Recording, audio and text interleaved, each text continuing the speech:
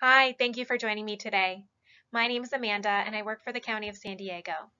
Due to the current climate of COVID-19, there are orders to stay at home and shelter in place. But despite staying home, we all need to stay connected to our friends and loved ones. Video calls are a great way to stay in touch. And Duo is a video calling app owned by Google that can make seeing your connections even easier. In this video, I'm going to review the basics on how it works. Before we get going, I want to remind you that you can pause or rewind the video at any time if you want to follow along on your own device. The first thing you will do is download the Duo app on your phone or tablet. For some Android users, it may come pre-installed on your device. So, for Android, tap the Google Play icon, which looks like this. For Apple, tap the App Store icon, which looks like this. Once there, type Duo into the search bar and tap Search or the magnifying glass. That may even populate automatically. Be sure it looks like this icon. Next, tap Install. Please note that the screenshots in this tutorial are from my Google Pixel phone and it may look slightly different on an iPhone or other Android device. Once you've downloaded the app, on your home screen, you'll see the icon that looks a little bit like this.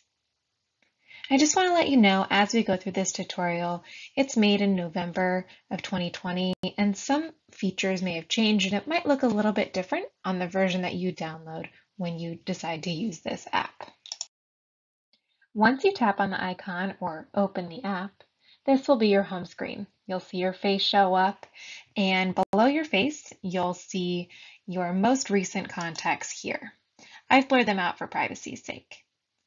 Above your face, you'll see a little search bar, and that's where you can search and type for a contact that you want to call. Once you type into the search bar, you can search for anybody in your contacts list. You can even add multiple contacts to form a group with multiple people. I do this with my family members. You can also invite friends that don't have Duo already.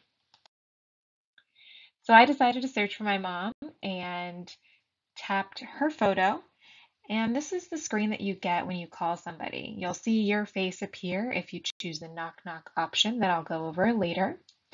And you can use that red circle button at the bottom to hang up from this phone call.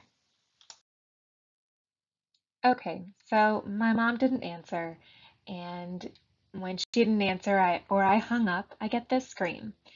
And you can see in the middle that I have a few delivered video messages, and I have the option of sending a heart just to let her know that I'm thinking of her.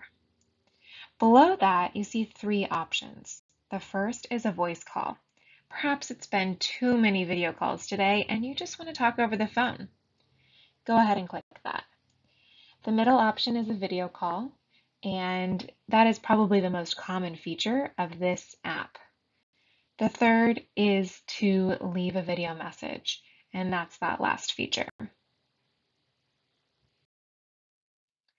So if you want to leave a video message, a voice message, or just send a photo, you get that red dot. This is what the screen will look like, and you can record your voice message here.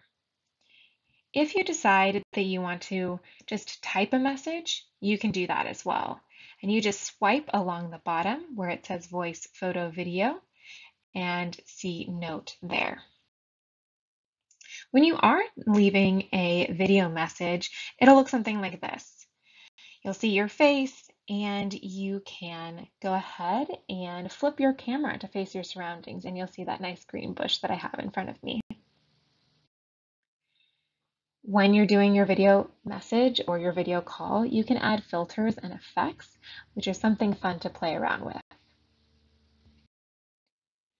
All right, we're back at our home screen. You see your face, you see the search bar to look for a contact, and then in the top right, you can see three small dots.